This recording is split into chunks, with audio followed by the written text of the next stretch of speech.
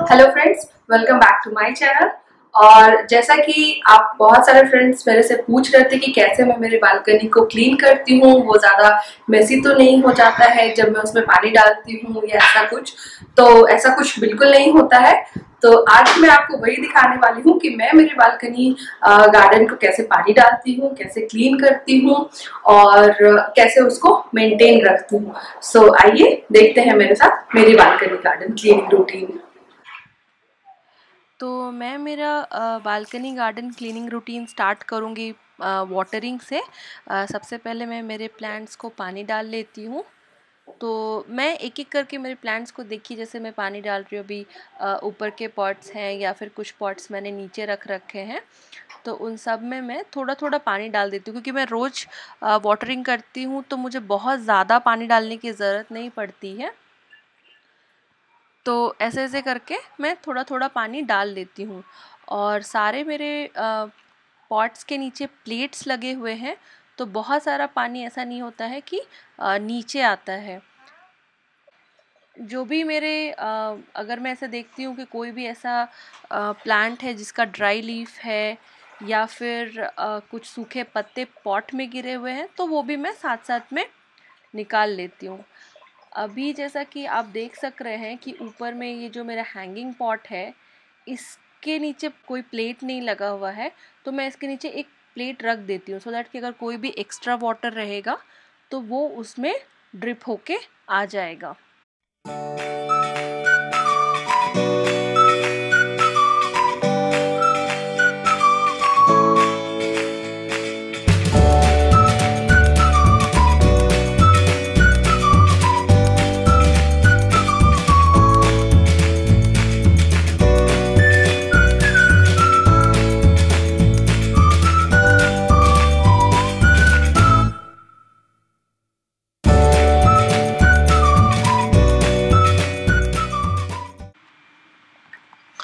और ये है मेरा कलश पॉट, जिसको मैंने पेंट करके सजाया है। मैंने आपको मेरी फ़र्स्ट वीडियो में मैंने बताया था कि ये मेरी लास्ट दिवाली का है कलश, जिसको मैंने सजाया है। और उसमें मैंने एक ऐसे प्लांट लगा दिया है। अगर आपने मेरा फ़र्स्ट वीडियो नहीं देखा है तो उसका मैं लिंक डाल दूँगी। आप देख सकते हैं कि प्लांट कितना ग्रो हुआ है आ, मेरे उस लास्ट वीडियो से लेके अभी तक में। और ऐसे ही जब मैं देखती हूँ कि कोई भी लीफ ऐसे थोड़ा गंदा हो जाता है तो उसके ऊपर मैं थोड़ा सा पानी ऐसे छिड़क के और उसको क्लीन कर देती हूँ। मुझे अच्छा लगता है मतलब सारे लीव्स अच्छे और यू नो हेल्दी और अच्छे ग्रीन कलर के रहे तो वो मुझे बहुत पसंद है। और ये जो आप देख पा रहे हैं इन पॉट्स को आ, ये प्लास्टिक के हैं जिनको मैंने पेंट करके रखा है। पॉट नहीं है ये ये जस्ट थम्स अप और यू नो सॉफ्ट ड्रिंक की बॉटल्स है जिनको मैंने कट करके और पेंट करके रखा है। उनको मुझे अभी और थोड़ा डेकोरेट करके हैंगिंग्स बनाना है। और अभी मैं ये सारे जो मैंने नीचे रख रखे हैं प्लांट्स जिनका वीडियो मैंने आपके साथ शेयर किया था कि मैंने कैसे उनको पेंट किया है और कैसे मैंने डेकोरेट किया है तो उनको भी मैं एक बार पानी डाल ले रही हूँ। और साथ ही जैसा कि आप देख पाए कि अभी मैंने कुछ पॉट से मैंने यू नो ड्राई लीव्स निकाला है। तो ऐसे कर लेती हूँ कि मैं जो भी पॉट में अगर कुछ सूखे पत्ते रह जाते हैं तो मैं उनको निकाल के हटा देती हूँ। और साथ में थोड़ा सा पानी ऐसे छिड़क देती हूँ। कुछ कुछ अगर लगता है कि थोड़ा अगर डस्ट के जैसे बैठा है या कुछ तो मैं थोड़ा सा पानी छिड़क देती हूँ सो दैट कि ना पत्ते अच्छे से क्लीन हो जाते हैं और ज़्यादा पानी भी वेस्ट नहीं होता है। और जो पॉट में थोड़ा पानी डालना है, वो तो मैं डालती ही हूँ।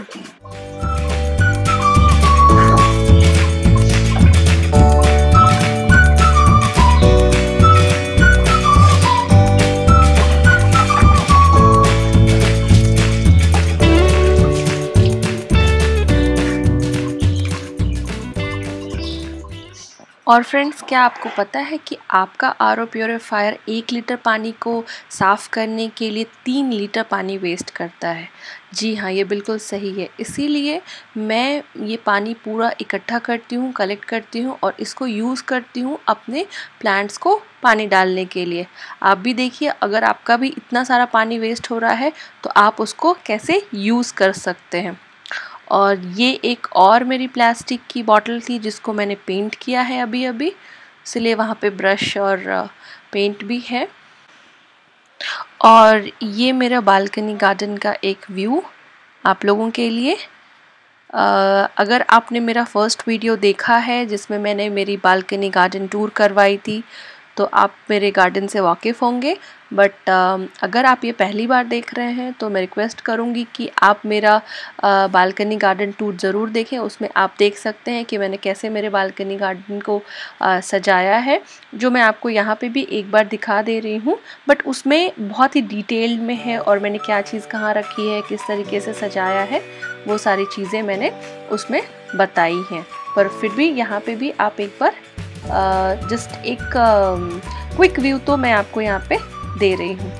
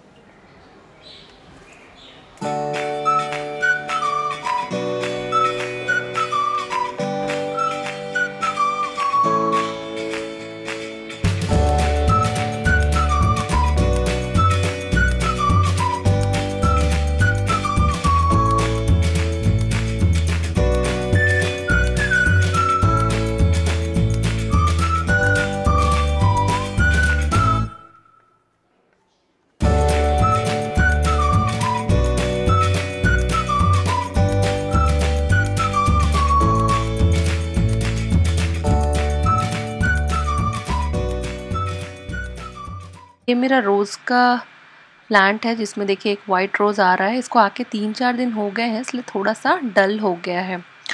और ये जो नीचे पॉट्स मैंने रख रखे हैं ये वो हैं। और इनमें से आपने जितने भी पॉट्स देखे हैं मोस्ट ऑफ़ देम को मैंने पेंट करके और ख़ुद ही डेकोरेट किया है। सो so, इसलिए मुझे अच्छा लगता है ना अपने पॉट्स को खुद पेंट करना डेकोरेट करना और उसमें अपने हिसाब से प्लांट्स लगाना। सो so, ये देखिए मेरे मनी प्लांट्स जो है वो कितने अच्छे से नीचे आ रहे हैं और मैंने आपको एक दिखाया भी था कॉर्नर में जो है वो पूरा मनी प्लांट का एक हब है। उसमें चार पाँच आई थिंक सिक्स छः पॉट्स मैंने रख रखे हैं सिर्फ़ मनी प्लांट के। और ये मेरा जेरेनियम है।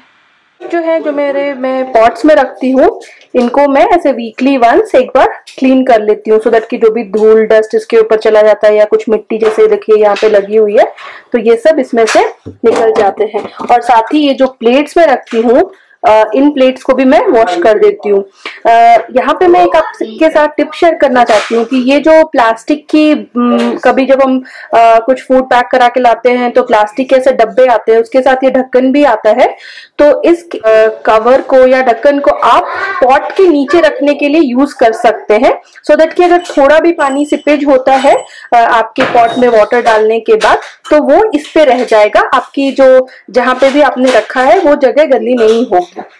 तो मैं ये ऐसे करती हूँ, ऐसे ही मेरे पास देखिए ये भी है तो इन सबको मैं अभी एक बार क्लीन कर लूँगी। ये सब मैं वहाँ रखती हूँ तो इन सबको मैं एक बार अभी क्लीन कर लूँगी।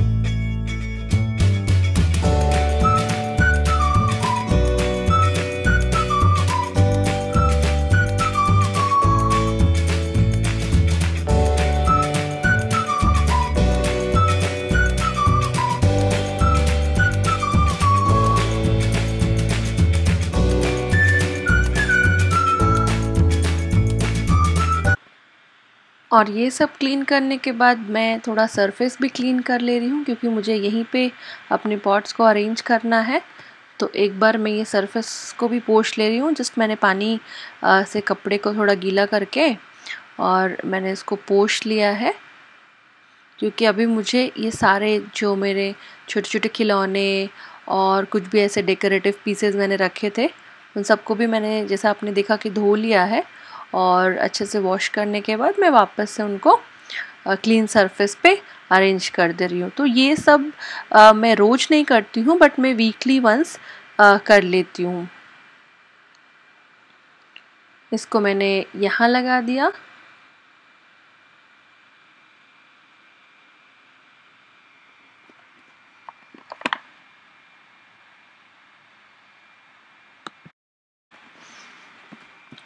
और ये मैंने जहाँ से जो भी निकाला था, वो सब मैं वापस वहीं पे लगा दे रही हूँ। ये छोटे छोटे मेरे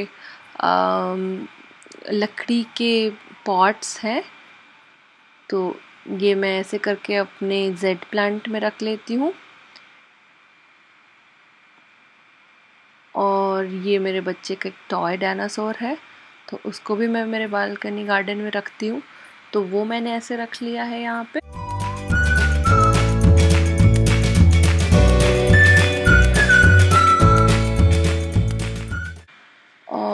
ये सारे जो मैंने प्लेट्स वॉश किए थे ये मैं प्लेट्स को भी जिस पॉट के नीचे से निकाला है वहाँ पे मैं लगा दूँगी।